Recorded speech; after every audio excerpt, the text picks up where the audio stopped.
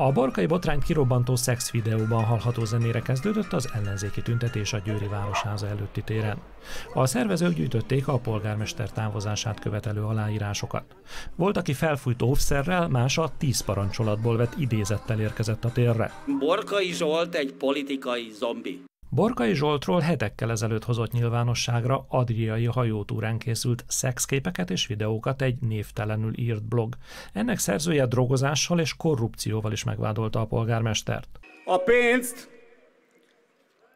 helyett buszokra, a felszólalók szerint Borkai Zsolt becsapta a győrieket. Ellenzék kihívója szerint minden győri ember érdeke, hogy a polgármester távozzon. Ha van bennünk becsület, akkor kitesszük innen Nyugat-Magyarország, és mutatnám, hogy honnan, a polgármesteri hivatalból, Nyugat-Magyarország legismertebb férfi hátsóját.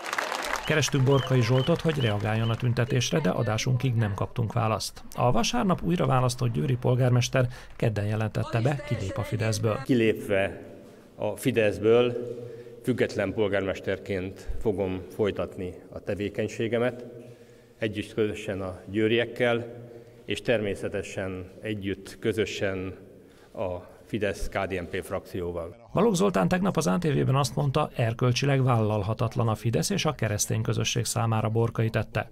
A volt miniszter szerint az is fontos, hogy kiderüljön, történt-e bűncselekmény. Szerintem egy nagyon döntő dolog, hogy ez közpénzből történtek -e ezek a, ezek a ö, különböző gyakorlatok, vagy pedig nem, ez például egy lényeges dolog. Borkai Zsolt azt korábban tagadta, hogy a hajókázást közpénzből fizette volna. Valaki mégis feljelentést tett az ügyben, a rendőrség pedig feljelentés kiegészítést rendelt el. A megyei rendőrfőkapitány pedig elfogultság miatt azt kérte, zárják ki a nyomozásból. Ezt az országos rendőrfőkapitányság jóvá hagyta. Adásunkig viszont nem válaszoltak arra a kérdésre, hogy melyik kapitányság veszi át a nyomozást.